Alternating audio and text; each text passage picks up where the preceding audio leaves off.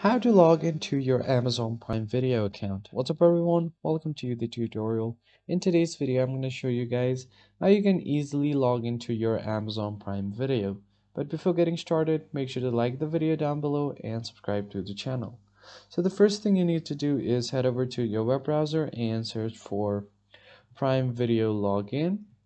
Once you have done that, go ahead and open up the first link that you see which is this one right here Prime Video, watch movie, TV shows, live TV, and more.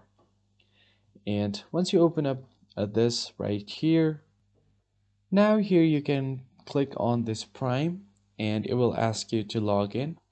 So right here you can enter your email or phone number that's connected to your Amazon account. I'm just going to enter my email address right here and then hit continue then you will be asked to enter your password. And if you have set any passkeys like your biometrics you can use that to log in as well. And in case if you have forgotten your password you can click on this forgot password to reset it. So just enter your email or phone number right here and click on continue. Then Amazon will send you a reset link on your email or your phone number.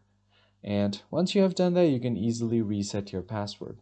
So I'm just gonna log into my account right here and once you enter your uh, code to verify tap on submit code and it should log you into your prime account. Just wait for it to completely load.